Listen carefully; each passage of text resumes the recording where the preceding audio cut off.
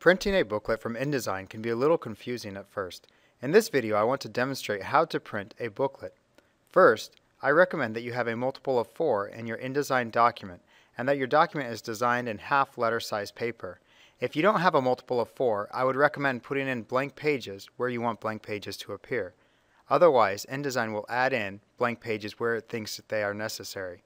It'll be much better if you add in the blank pages on your own.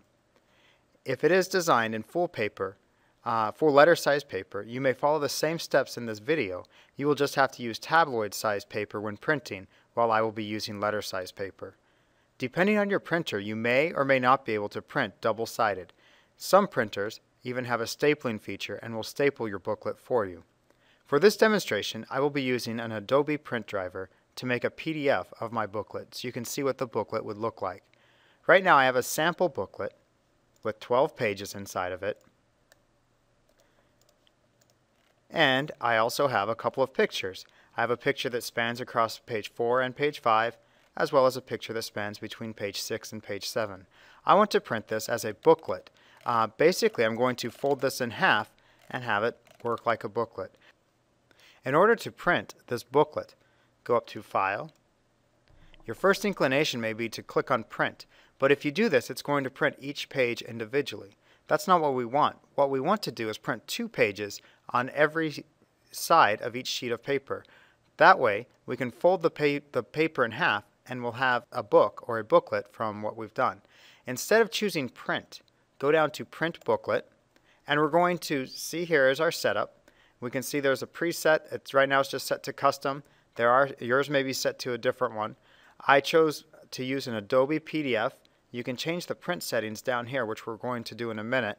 We're going to do a booklet type, two-up saddle stitch. You can see there's a couple other options, but a two-up saddle stitch basically allows you to fold the paper in half and put two staples or stitches inside of the booklet. Now I want to click on preview to see if everything is correct. And the preview is showing me what is going to print out on each of the pages. And right now I can see that page 12, the back cover, is going to print on the same page as page 1 but I also can see this red area indicating that half of my page is going to be cut off. That could be problematic. If I click on the summary, it's going to tell me the summary of everything that's printing. But I want to go back to preview. I need to fix this. To fix this, or to change the printer that you're using, simply click on Print Settings. This brings up a lot of options. I have my printer set to an Adobe PDF, which is going to allow me to create a PDF from this uh, document. And what I want to do is make sure that print blank pages is selected. Inside of my booklet, I do have one blank page. And if I don't select this, I'm going to uncheck it real quick. It may mess up the way my pages are distributed inside of this document. And so I'm going to make sure that my print settings have print blank pages set up. Now I want to change the orientation of my print so that it fills this page. I click on Setup. I'm going to change the orientation so now that it's going to be landscape. It's not going to update until I click OK. But this is also the location where you can change the page size. Let's say that you made your booklet design using letter size paper.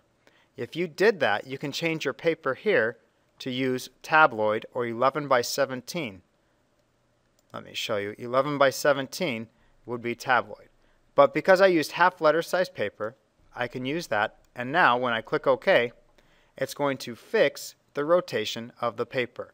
So now it's going to print on one sheet of paper, page 1 and page 12. You can see these blue numbers indicate what pages are being printed. I can now click through and I can see my other pages that would be printed as well. Now, I put two pictures inside of this document for a purpose. Notice here how page 4 doesn't line up with page 5. The reason is these pages are going to be next to a different page, and the way that the booklet will be stapled is going to shuffle the order of these pages. If I click over to the next one, you can see there's the second half of that same picture. Now if I go to page 6 and 7, they have the picture connected together. And the reason is this is going to be the innermost page or the inside of my booklet. So if everything looks correct, I can go ahead and click on print. Now using the Adobe driver, I'm going to have this window pop up and I'm going to give it a name. I'm going to call it Sample Booklet. I'm going to save it. And now you can see I have the front page will print out front cover, back cover. The next page will have page 2 as well as page 11 which was blank. Page 10 and page 3.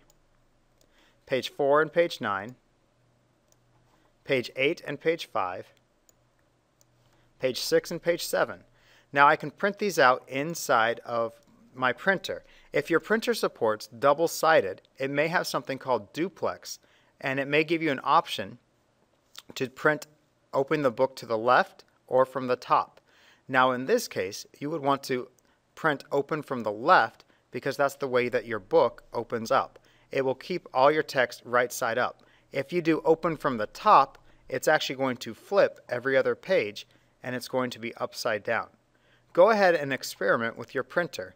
If you're doing a big or a large booklet, I would recommend practicing with just a small booklet or just practicing with four pages and see if you can get that correct before you try printing a larger booklet. I hope this video has helped you in figuring out how to print a booklet using InDesign.